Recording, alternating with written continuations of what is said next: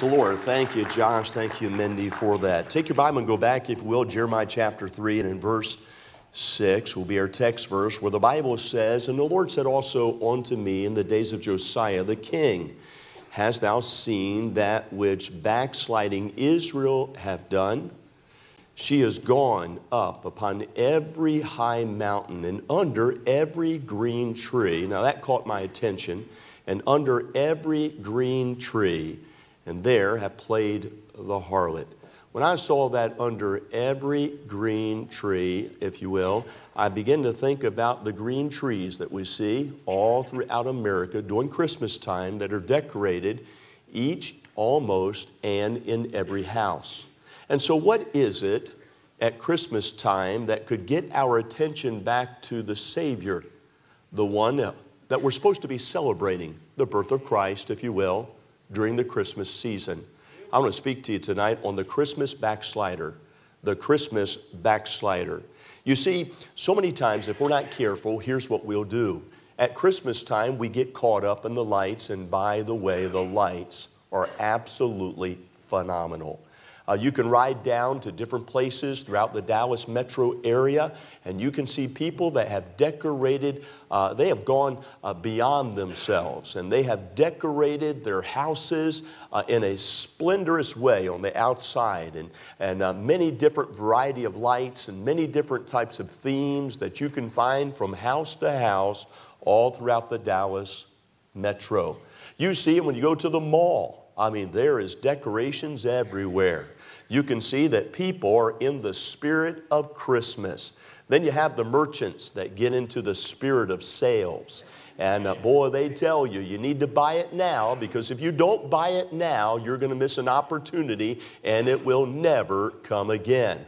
Well, that's not true because the next time there's a holiday, it will come again. And then the next time there's a holiday, it will come again. And the next time there's a holiday, it will come again. And so sales never run out. Matter of fact, just to give you a little heads up, you're going to run out of money before the sales run out. And so, uh, so we have to be careful not to get caught up. You know, we have to be careful to be able to put Christ first. I, I tell you, I, am so glad that we have a soul winning church. I'm glad that we run buses. Uh, yesterday, I know the uh, America for Christ and, and their uh, desire to see people saved had over 80 people that bowed their heart, received Christ in the inner city of Dallas. And uh, those that uh, go the extra mile working on bus routes, and those that go the extra mile to pass out a gospel tract throughout the week when nobody's looking and nobody's paying paying attention, but you decide that you're going to uh, be concerned about the souls of men, I say thank you so very much for that. But we have to be careful during the Christmas time that we ourselves do not become backslidden. The word backslider is only mentioned one time in the entire Bible. You'll find it in the book of Proverbs, chapter 14, and verse 14, where the Bible says, the backslider in heart. And by the way, isn't that where it starts? It always starts in the heart. Nobody knows that you're backsliding uh, until it starts to show up on the outside.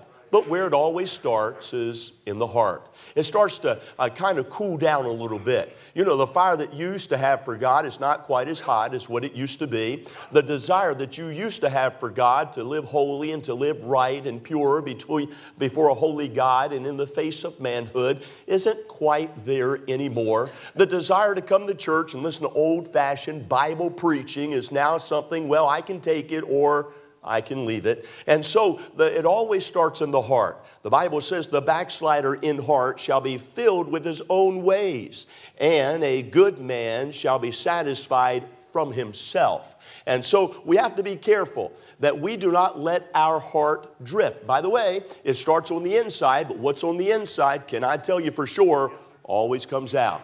And so you have to be careful that it doesn't start on the inside, whereby it does come out. The word backslider mentioned only one time there in the entire Bible, Proverbs chapter 14 and verse 14. However, the word backsliding is mentioned in 12 verses.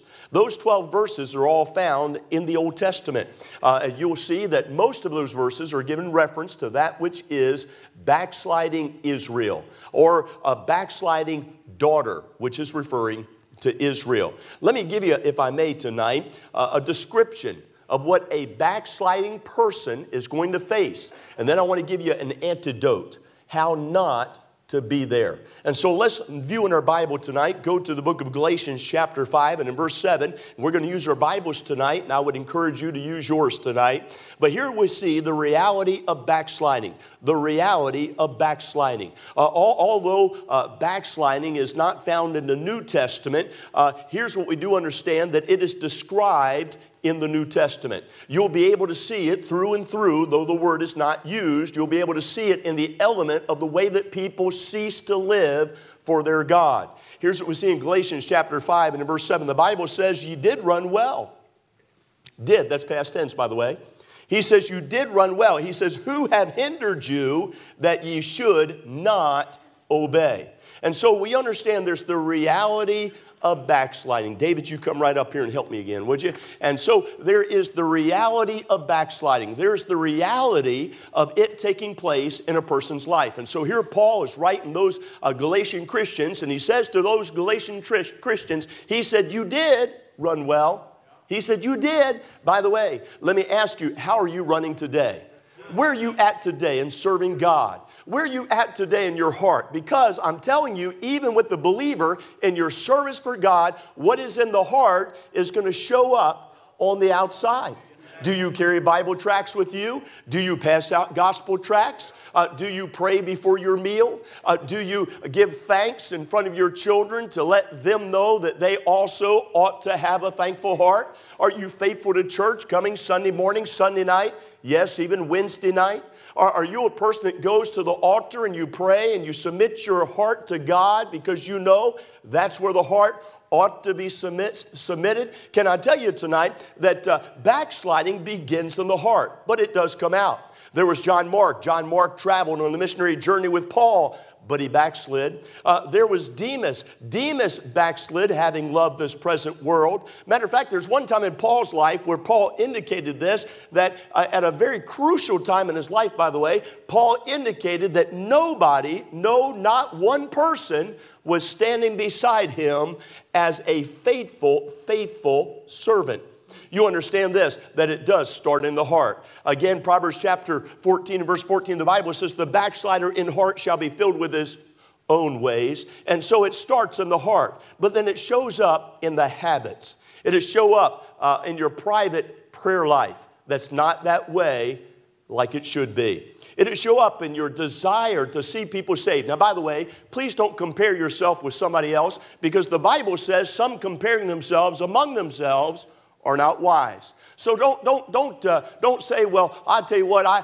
I, I had uh, X amount of people saved this week, and so I'm more spiritual than so and so because I had more people saved this week than so and so had saved. Well, wait a minute. Did you know that God used people that were backslidden to bring other people close to God and, and to help other people understand their need of the gospel? And so you realize you could be backslidden and still go out soul winning and pass out tracts. You could be backslidden tonight and be working a bus route. You could be backslidden tonight working in the choir. You could be backsliding tonight working as a teacher. You could be backsliding tonight working as an assistant Sunday school teacher. You could be backsliding tonight work as an altar worker. You could be backsliding tonight work as an usher. You could be backsliding tonight and be a deacon. You can be backsliding tonight and be a staff person. You can be backsliding tonight and be a faculty member. Do you know tonight that uh, nobody knows uh, how your walk is with God except you and you alone? It always starts in the heart, but it shows up in the habits. It'll show up in your prayer life. It'll show up in your Bible reading. It'll show up in your desire to see people saved.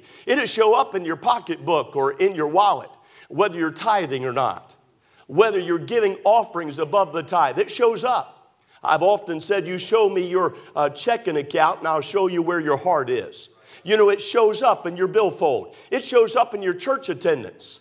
You know, whether you drag in late or you show up early uh, whether you come excited about the things of God or you're miserable and it's written all over your face. Can I tell you tonight that uh, starts in the heart, shows up in the habits, and then it spreads to others?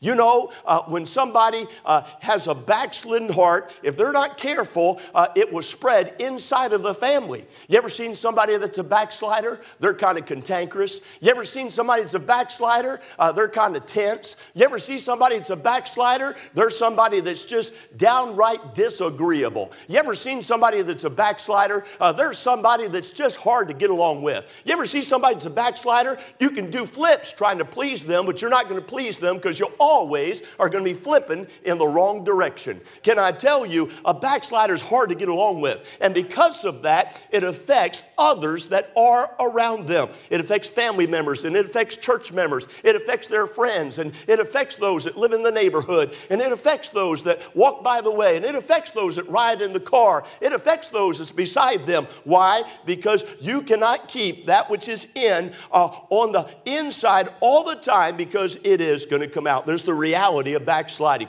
But then there's reasons. There is reasons why people backslide. Sheldon, you come help me if you will. And so there is reasons why people backslide. I appreciate Sheldon. He went soul winning with me yesterday, and I appreciate him so much. And so uh, uh, there's reasons. Why is it that people backslide? I mean, you know, if there's the reality of backsliding, and there is, and there is that which is the uh, hurtfulness of backsliding, and there is then why in the world would anybody want to backslide? If it's going to be detrimental to your marriage, why would you want to do it? If it's going to be detrimental to your child rearing efforts, then why in the world would you want to do it? If it's going to be detrimental to your relationship with other people, why would you choose to backslide? If it's going to be detrimental to your church life and the very health that you have in your relationship with others, then why in the world tonight would you want to backslide? The Bible says in Jeremiah chapter 49 in verse 4, the Bible says, it says this, it says, Wherefore it says, Glorious thou in the valleys. It says, uh, Thy flowing valley. It says, O backsliding daughter. It says, That trusteth in her treasures. Listen to it now. Saying, Who shall come unto me? Kind of snobby, huh? I mean, here's uh, that which is a, a, a, group of people that are backsliding, and as they're backsliding, here's the thing uh, there's some things that have a hold of them. Now, come on. You, you know, sometimes there are things that get a hold of us that will cause us to take our eyes off of the Lord. Let me give them to you. What are the reasons that people backslide? Number one, uh, pro, uh, uh, pro, uh, that which is possessions. Possessions. Things that they things that they have, things that they want to have, things that they de- desire to have, possessions. They put their eyes on things. Listen to it. Over in 1 Timothy chapter 6 and in verse 10, the Bible says, it says, uh, for the love of money is the root of all evil. Now, it didn't say that money is the root of all evil. It's when you put that money before the Lord. It's when you fall more in love with it and it is in the wrong place. It becomes now your priority. It becomes now your God. It becomes now what you serve rather than allowing it to be a servant to you. It says, which uh, some having coveted after have erred from the faith, coveted after. They long to have it. Boy, I just want to have more. Boy, I would be satisfied and I would be happy if I had a better car. I would be satisfied and I would be happy if I had a bigger house. I'd be satisfied and I'd be happy if I just had more money. I'd be satisfied and I'd be happy if I could just eat more. I would be satisfied and I would be happy if I just had this type of prestigious clothing that I would wear. Listen to it. The Bible says here that there are possessions that will overtake us. The Bible says, erred from the faith, piercing themselves through with many sorrows. You ever see somebody that has a lot, but they're unhappy? You ever see somebody that lives in a real nice house, but they can't even get along with themselves? Yeah, you ever see somebody that uh, they, they, you know, they look at themselves in the mirror in the morning and they can't stand who they are? But yet they've got all these possessions. 2 Timothy chapter 4 and in verse 10, the Bible talks about Demas. For Demas, Demas had forsaken us, having loved this present world, listen to it now, and is departed, it says, on the Thessalonica, It says here and talks about to Galatia and it talks about to uh, Titus and, and on to uh, that which is a different place. Now, what happened? Here's what he did he departed. Why did he depart? The Bible says, having loved this present world. He was caught up in the world system, possessions. Another reason that sometimes a person will get backslidden is because of pride. You know, I mean, after all, I deserve more attention than what I'm getting. I deserve more pay than what I'm getting.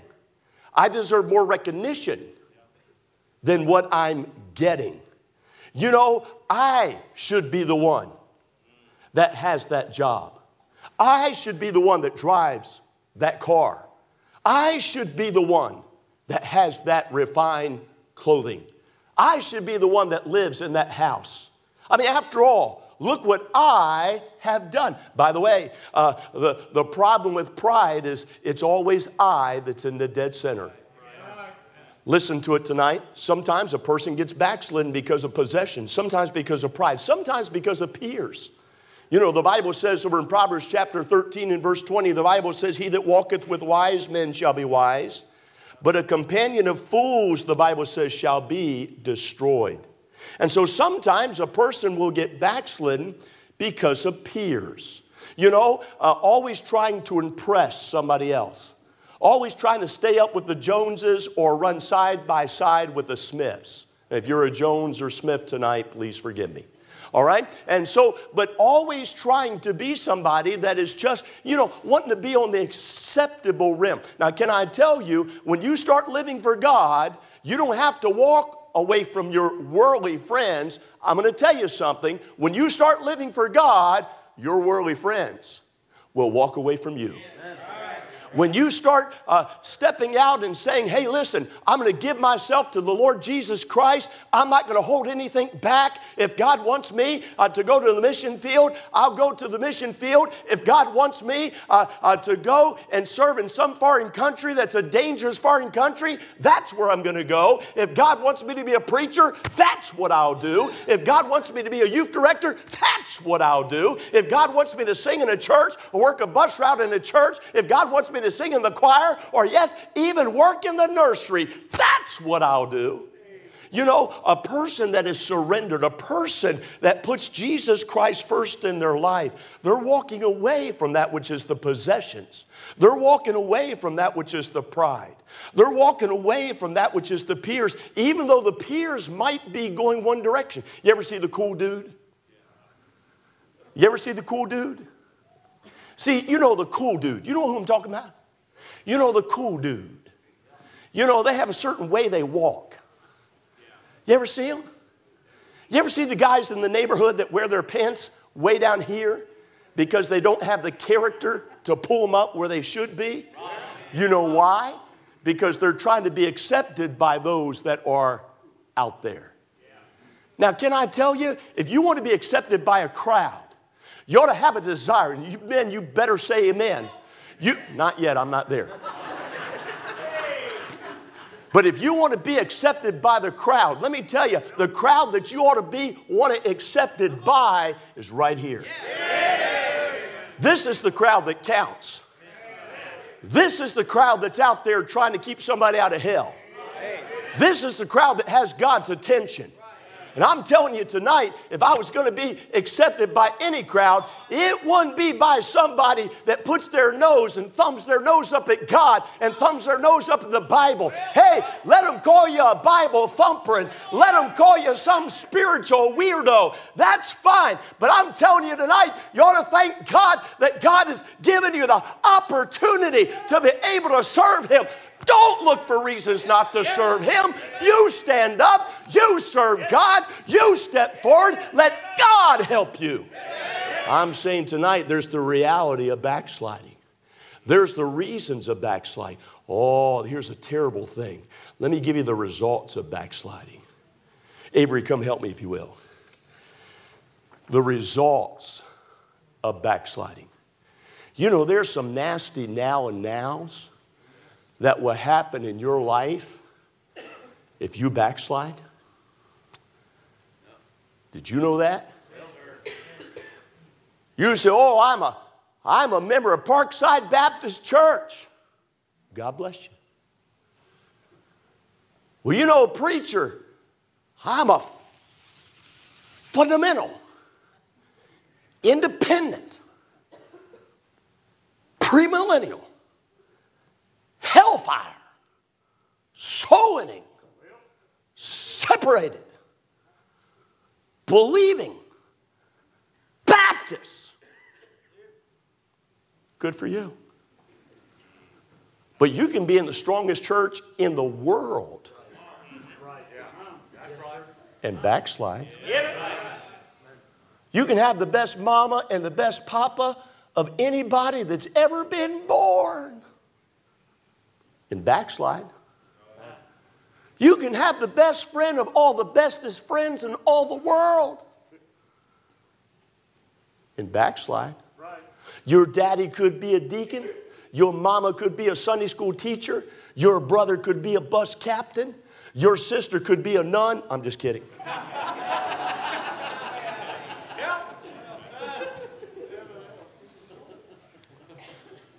Baptist nun.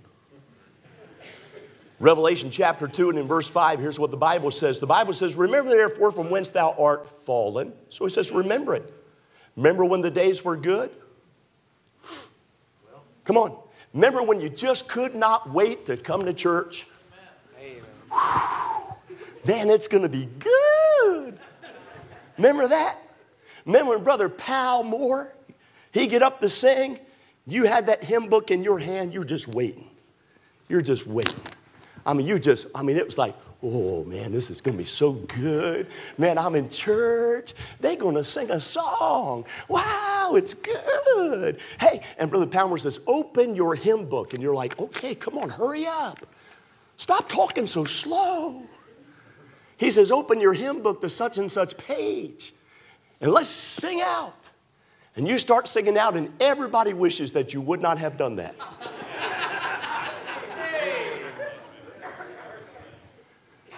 Results of backsliding. He says in uh, uh, Revelation chapter 2 and verse 5 Remember, remember, therefore, from whence thou art fallen, and repent. He said, You need to change your mind, sir. You need to change your mind, ma'am. See, backsliding is a choice. Right.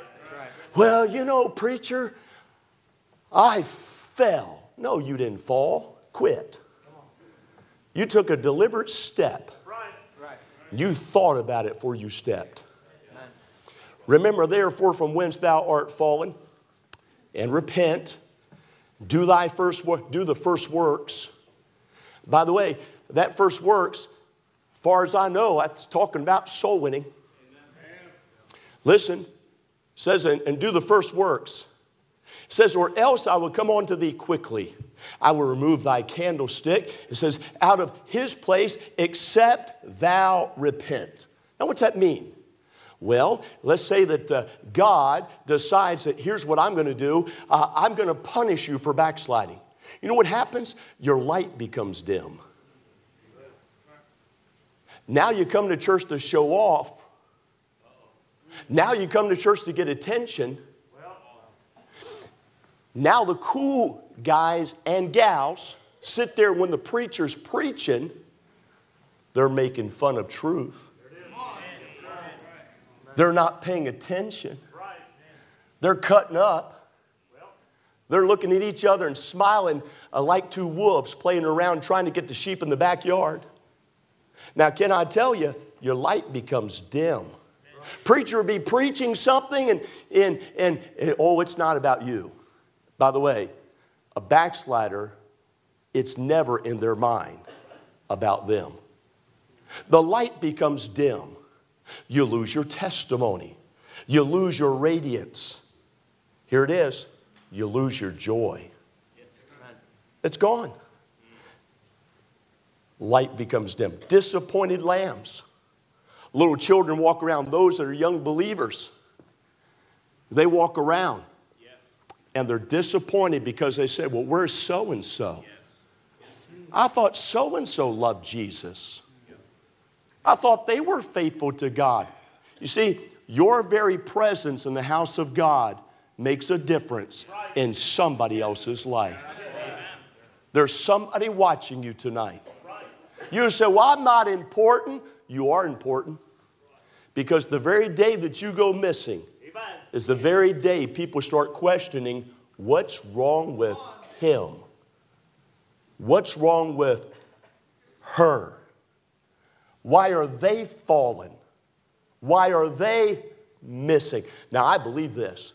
I believe if you're saved, you ought to act like it. I believe if you're saved, you ought to be faithful to church. You say, Well, I don't get anything out of it when I come. Then I believe you ought to take that wicked heart, lay it on the altar, confess your wickedness, come to God and cry out and say, God, help me to get right so you can speak to my heart again. See, the problem's not with the preaching, the problem's with the person that is in the pew that is deciding that they don't want the preaching. The light begins to dim. There's disappointed lambs. When a daddy backslides, a child is disappointed. When a granddaddy backslides, a grandchild is disappointed. When a brother or sister backslides, another sibling is disappointed. When all of a sudden, that which is a person that uh, doesn't have uh, the character, yea, the love for God, just to be faithful. How hard is it to be faithful? There's dim light, disappointed lambs. There's, there's if you would please, a, a disgusting layout. You say, what is that? Well, now they're not where they should be. And most of the time, they're going to wind up like the prodigal son down in the pig pen. You know, I mean, they're not where they should be, and so because of that, they start going to places that they ought not go. I mean, now they don't want old fashioned religion, so they're going to go find a more liberal church where they can have their liberalities not feel bad about their sin. Hello. You won't believe this, but there's churches in the metro area. They have Bible studies and they bring liquor out to drink in the Bible studies and they call themselves a ministry of the church. That's ungodly and wrong. You go to church. Uh, by the way, I think church ought to be church. You know, I, I think that it ought to remind you of God's holiness and God's righteousness. And I think that the man of God ought to get up and uh, preach the uh, Bible, is what I think.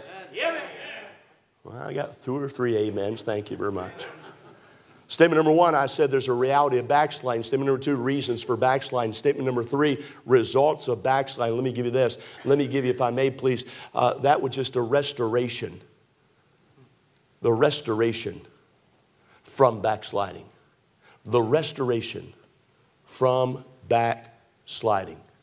All right? And so, uh, Micah, come here and help me, would you? Come here, buddy. All right? The restoration. How is it that a person that backslid can be restored? Now, I'm going to tell you something.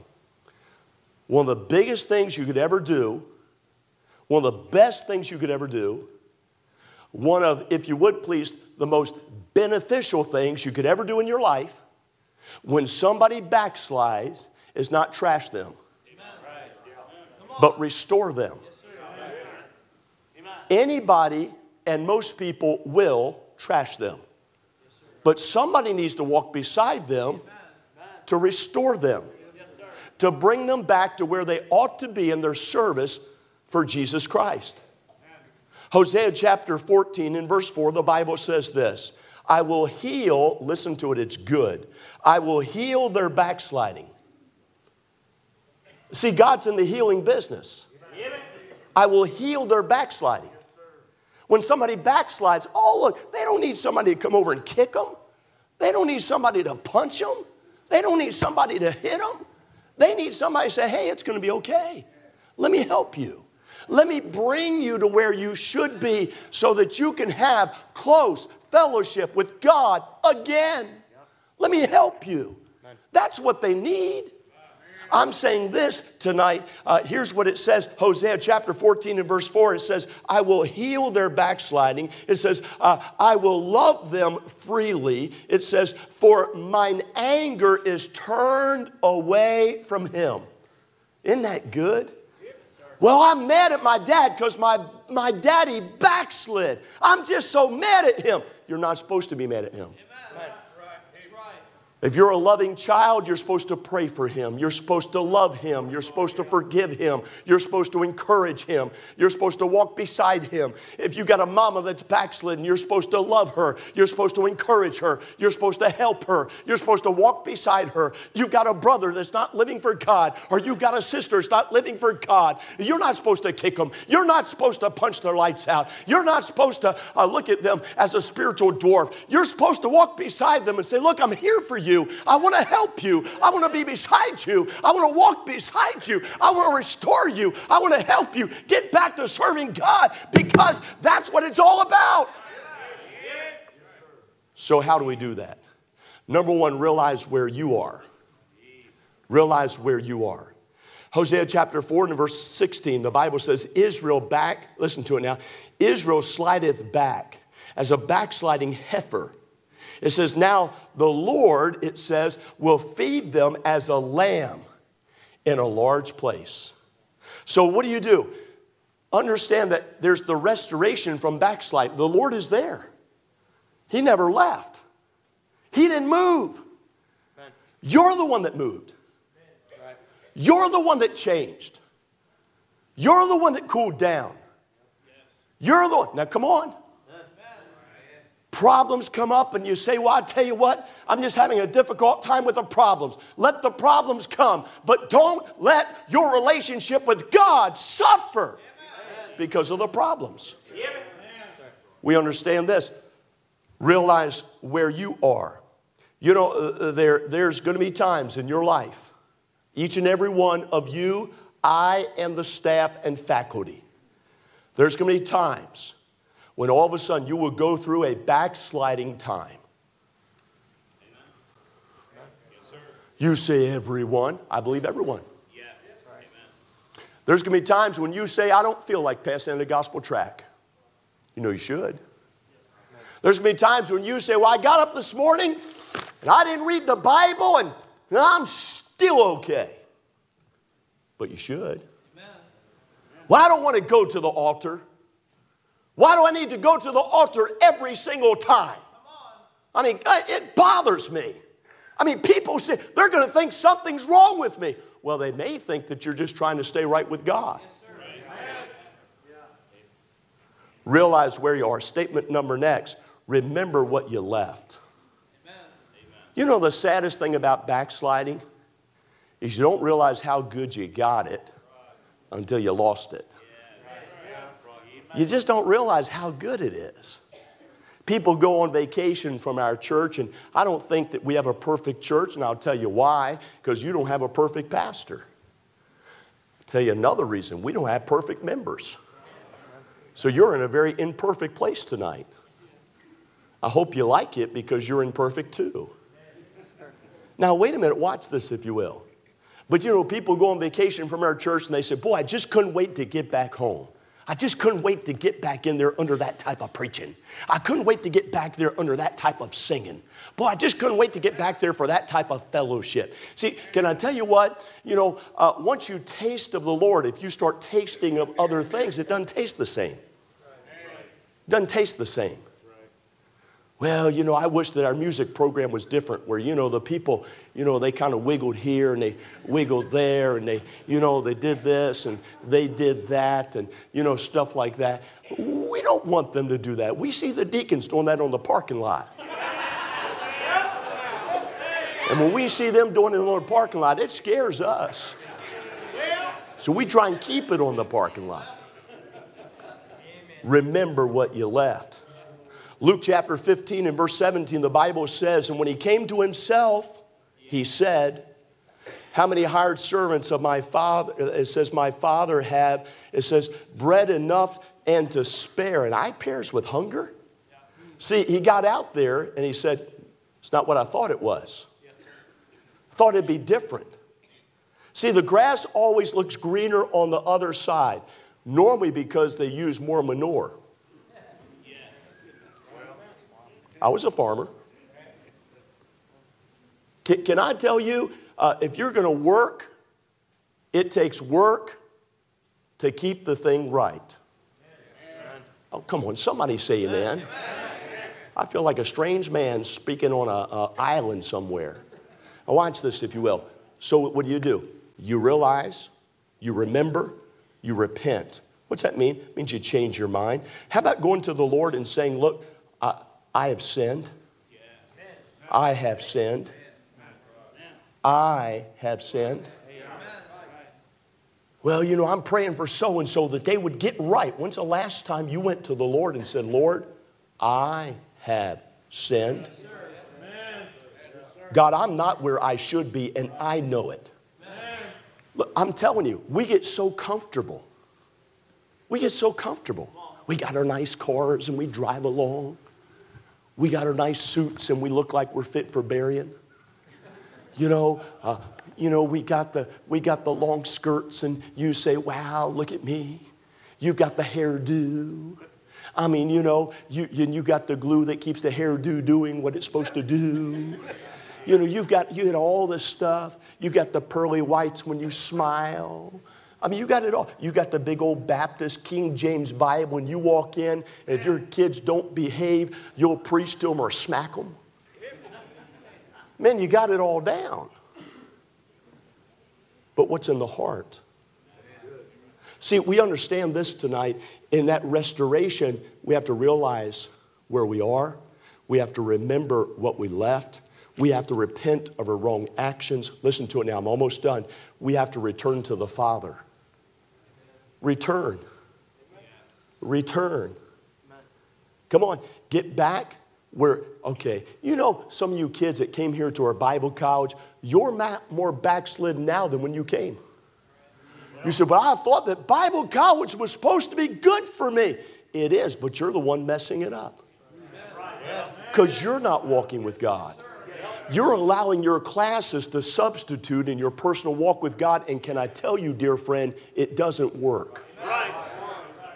You have to have that personal walk with God. Jeremiah chapter 3 and verse 22, the Bible says, Return, says ye backsliding children. He says, And I will heal your backslidings. That's plural. I will heal your backslidings. says, Behold, uh, we come on to thee. says, For thou art the Lord our God. Jeremiah chapter 8 and in verse 5, the Bible says, Why then, it says, is the people of Jerusalem, it says, slidden back like a perpetual backsliding. It says they hold fast deceit, and it says they refuse to return.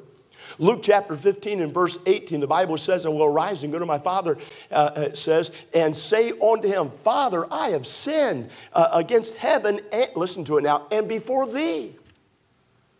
You know, uh, if uh, you're not right with your parents, then you have a responsibility to not only get right with God, but you have a responsibility to get right with your mama and daddy. Because you cannot be right with your mom and daddy and be right with God. You got to be right with both. You got that? That's the way it needs to be. Hello? Some boy sassing his mama, some boy sassing his daddy. And saying, Well, I just don't feel like it. You get, your, get yourself right with God. Get to an altar and say, God, I've sinned. I've not only sinned against you, but I've sinned against my daddy. I've sinned against my mama. And God, I, am coming to you and I'm asking you to forgive me of that. Luke chapter 15 and verse 19, the Bible says, and, uh, and here it is, it says, and, and, and I am no more worthy to be called thy son. He says, make me as one. Listen to it now. Can you imagine your kid coming to you and saying this? Make me as one of thy hired servants. Boy, it's a good day when a son or a daughter gets right to that level. Mom, dad, I'm not right with God, but I'm telling you, I'm not even worthy to be called your son. I've grieved your heart so much, I'm sorry. That's, that's true repentance there. Then what do you do? Then you repent, uh, repeat your basic Christian duties. says here, and I'm done. Last, last thing, here it is. Last verse I'll read. Here it is. Here it is. It says, Remember therefore from whence thou art fallen, and repent, and do the first works or else I come unto thee quickly and remove thy candlestick, it says, out of the place except thou repent. So what are you supposed to do? Go back to the basics all over again. You know, the Christian life is not complex. It's not. You don't have to be a theologian to figure it out. It's not hard to figure out. It's challenging to live. It is challenging to keep God first. And can I tell you, you have to do that on a minute by minute basis. It's not a day by day, it's not a week by week, it's minute by minute. Because if you don't, you start to slip. How many people have I seen living on the streets, living under a bridge somewhere? You stop and say, How'd you get here? And they testify. I didn't mean to wind up here. It was just one decision that was wrong on top of another decision that was wrong on top of another decision that was wrong, and I wound up right here where I am. You know why? Simply because they decided that's what they wanted to do. Thank you. Be seated. Take those signs with you. I dream for every girl to be able to walk down an aisle, for me to be the preacher. That's one of our girls. And uh, be able to marry them to their knight in shining armor. I, you say, Preacher, you believe there's hope? I believe there's a God. And I believe there's hope for everybody that names the name of God.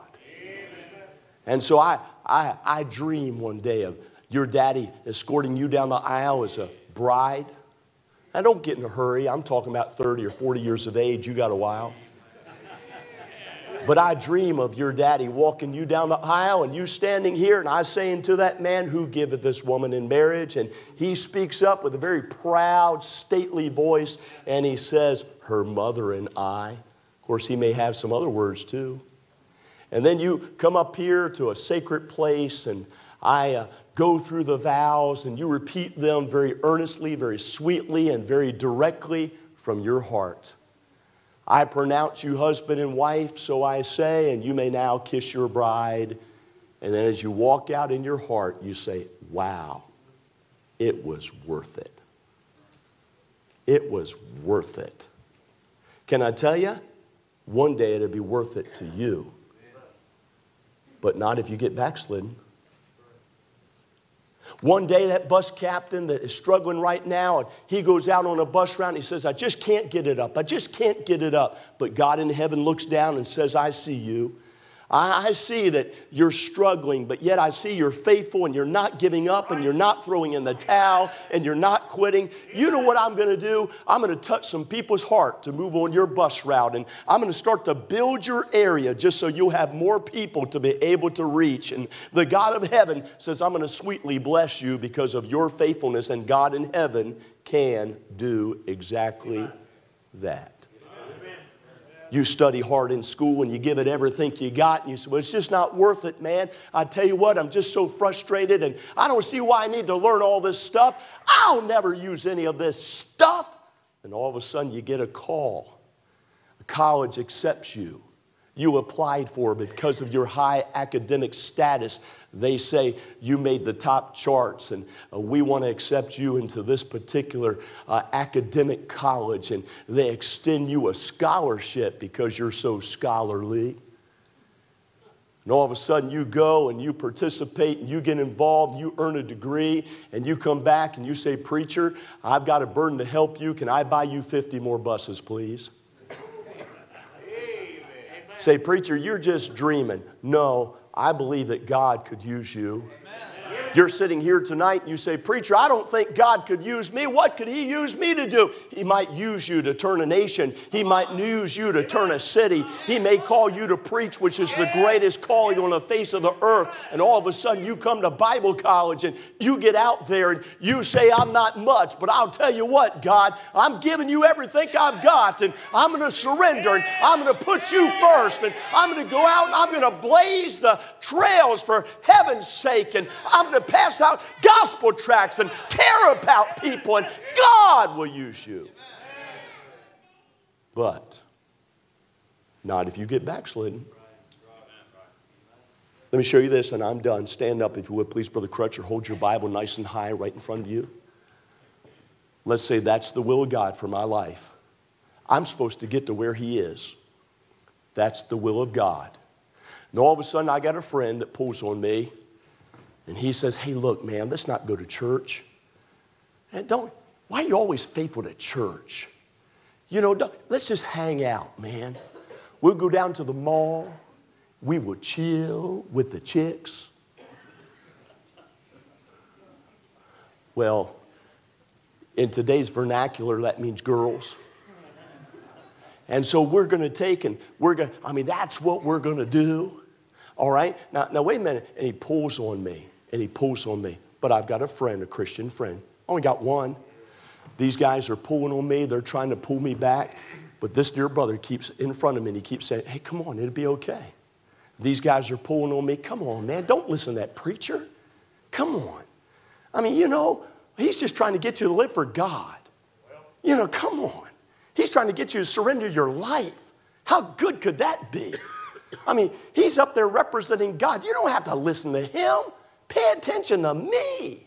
Let's go off and have fun.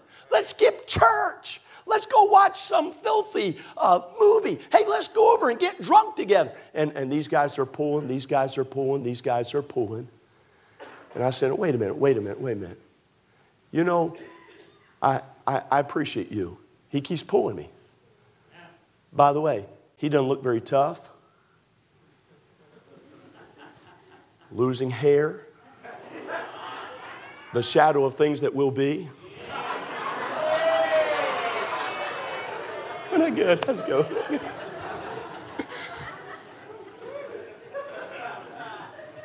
I come to church. God warms my heart. Hot tears flow down my cheek. And I say, It's good to be back. I stay faithful. I love God. Get married. Have nine kids. grow old, watch my grandkids, my great grandkids. They're all sitting around. All of a sudden, I look around, wow, that's a grandson. He's an usher. There's another grandson. He's an usher. There's a granddaughter. She's a Sunday school teacher. Wow. Look at this over here. Look at the, the faithful. God blesses a faithful man but you've got to be faithful to get the blessing. Heads are bowed, eyes are closed. Father, we thank you for tonight.